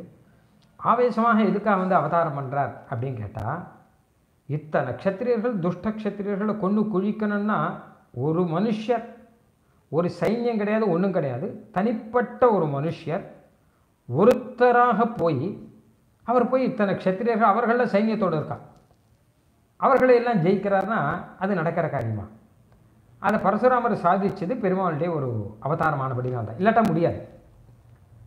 அதனால் அப்படி தான் எல்லாரும் முதல்ல புரிஞ்சுக்கிறோம். நாம் பெருமாள் அவதாரமானபடினால் தான் இது முடியும். இல்லாட்டா சாதாரண மனுஷரெல்லாம் போய் அங்கே எல்லா க்ஷத்திரியர்களோட யுத்தம் பண்ணி சைன்யத்தோட யுத்தம் பண்ணி ஜெயிச்சு இதெல்லாம் பண்ண முடியுமா என்ன? சாதாரண மனுஷரால் முடியாது. பகவத் ஆவேசம் இருந்தால் தான் முடியும். அதை வச்சுருந்தா அவர் பகவத் ஆவேசம் அப்படிங்க. ஆனால் சுவாமி தேசிக்கு நீங்கள் சொல்கிற விஷயம் என்ன கேட்டால் அதனால் பகவத் ஆவேசங்கிறது இருக்கட்டும் இத்தனை பேருக்கு க்ஷேமம் பண்ணிருக்காரு இல்லையா? தயினால அதனால பகவத் ஆவேசம். விஷாச்சல தயாளுனா திருவேங்கரமுடியாங்கிற தயாளு ஆவேசம் பண்ணிருக்கார் அங்கே அப்படி புரிஞ்சுக்கோங்க. ஏன்னா இத்தனை க்ஷத்திரியர்களுக்கும் நரகம் நரகமே தாங்காது போல இருக்கு. அத்தனை பாபம் பண்ணியிருக்கான் இவர்கள்லாம். தர்மத்தையே ஒழிச்சிருக்கான் மற்ற பேரும் அதனால் எம்பெருமான் வந்து ஒரு லீலை பண்ணணும்னு நினச்சி பரசுராமர்கிட்ட ஆவேசம் பண்ணி ஒரு சாதாரண ஒரு பிராமணர் ஒருத்தர் ஜமதக்னி மகர்ஷியுடைய புத்திர ஒரு பிராமணர். நல்லா கவனிக்கணும். க்ஷத்திரியர் கூட கிடையாது. அந்த பிராமணர்கிட்ட போய் பெருமாள் ஆவேசம் பண்ணி இந்த காரியத்தை பண்ணது மாத்திரம் இல்லாமல் இவர் மொத்த பேருக்கும் எல்லாருக்கும் க்ஷேமத்தையும் பண்ணியிருக்காருன்னு எம்பெருமானுடைய தயையை வச்சு பார்த்தா கூட எம்பெருமானுடைய வீரியத்தை வச்சு பார்த்தா புரியும் மாத்திரமில்லை. எம்பெருமானுடைய தயையும் வச்சு பார்த்தால் இது நன்னாக புரியும் அப்படிங்கிற அதான் பரஸ்வத தப்போதரன் ஆரம்பமே அழகாக இருக்குது பரஸ்வதன கோடையில் ஆயுதம் வச்சுட்டு இருக்கார் தப்போதரன்னா தபஸ் பண்ணுறாருந்தான் அதாவது ஆயுதம் வச்சுன்னு இருக்கவர் அப்படிங்கிறவ போய் தபஸ் பண்ணுவாரா? தப்போதரன்னா தபஸு தான் தனம்னு அர்த்தம். மகரிஷிகளை தப்போதனர்கள்னு சொல்கிறது ஏன்னா அவளுடைய தபஸ் அவள் நீ எத்தனை சொத்து சேர்த்துருக்கான்னு அவள்கிட்ட கேட்டான்னா நான் நான் வந்து கிட்டத்தட்ட பதினஞ்சு வருஷம் தபஸ் பண்ணிகிட்டு இருக்கேன் அப்படின்வான் அதான் சேர்த்து வைக்கிற சொத்து. நம்ம சேர்த்து வைக்கிற முடிஞ்சு. நீ பதினஞ்சு வருஷம் சர்வீஸில் இருந்தால் எவ்வளோ சேர்த்து வச்சுருக்க? அப்படின்னா ரெண்டு வீடு வாங்கி போட்டிருக்கேன் அப்படிங்கிறோம். இருபத்தஞ்சு வருஷம் சர்வீஸில் இருக்க நீ என்ன பண்ணியிருக்க அப்படின்னு கேட்டான்னா நான் இந்த மாதிரி பைசா வாங்கி இந்த மாதிரி போட்டிருக்கேன் இங்கே லேண்டு வாங்கியிருக்கேன் இங்கே சொன்ன வாங்கியிருக்கேன் அப்படின்னு சொல்கிற இல்லையோ. அந்த மாதிரி மகர்ஷிகள்லாம் நீ இத்தனை வருஷமாக நீர் என்ன சேர்த்து வச்சேர் அப்படின்னு கேட்டால் பத்து வருஷம் தபஸ் சேர்த்தேன். நான் சொர்க்கலோகத்துக்கு போகிற மாதிரி தபஸ் சேர்த்தேன். நான் சத்தியலோகத்துக்கு போகிற மாதிரி தபஸ் பண்ணேன். மய மயா நிர்ஜிதா லோகாக அப்படின்னு ஸ்ரீமத் ராமாயணத்தில் வரும். பெருமாள் ராமன் கிட்ட சொல்கிறார் சரபங்கர்னு ஒரு மகர்ஷி சொல்கிறார் நான் தபஸ் பண்ணி நிறைய லோகங்கள்லாம் சம்பாதிச்சு வச்சுருக்கேன். உமக்கே அர்ப்பணம் பண்ணுறேன் நீர் ஏற்றுக்கும் அப்படிங்கிற பெருமாள் கிட்ட. அப்போ பெருமாள் சொல்கிறார் வேண்டாம் அதெல்லாம் நீரே வச்சுக்கும். எனக்கு இன்னும் நிறைய அவதார காரியங்கள்லாம் இருக்குது என்பதாக சொல்கிறார் அந்த மாதிரியாக மகரிஷிகள்லாம் நிறைய லோகத்தையெல்லாம் வாங்கி வச்சிருக்காங்க தபஸ்னால. அப்படின்னா என்ன அர்த்தம்னா அந்தந்த லோகத்துக்கு வாழால் போக முடியும் அப்படின்னு அர்த்தம். அதனால் தப்போதனர்கள் தபஸ் தான் இவர்களுக்கு தனம். இவர்கள் சேர்த்து வச்ச சொத்துங்கிறது தபஸு தான் அப்படின்னு. அதான் பிராமணனுக்கு அழகு. சொத்து சேர்த்து வைக்கிறது அழகு கிடையாது. என்ன தபஸு சேர்த்து வைத்தான் அப்படிங்கிறது தான் இவனுக்கு அழகு.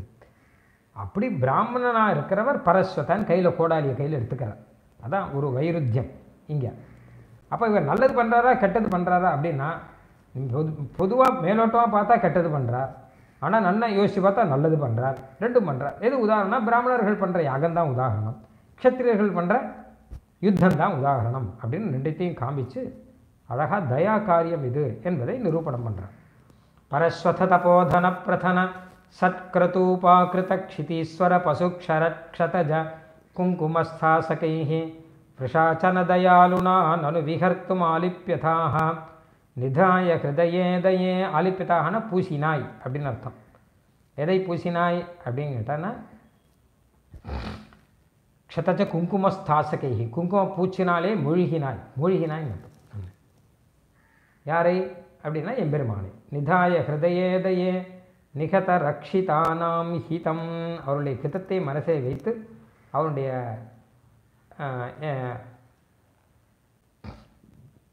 விஷாச்சல தயாவுனாலே ஆலிப்பியதாக பூசப்பட்டாய். எம்பெருமானாலே பூசப்பட்டாய் தயையே நீ பூசப்பட்டாய்னு அர்த்தம். அதாவது எம்பெருமான் தயைக்கு இந்த குங்கும பூச்சை ச- கொடுத்தான் என்பதாக அர்த்தம். கவிதார்க்கிக சிம்ஹாய கல்யாண குணசாலினே ஸ்ரீமதே வெங்கடேசாய வேதாந்த குரவே நமः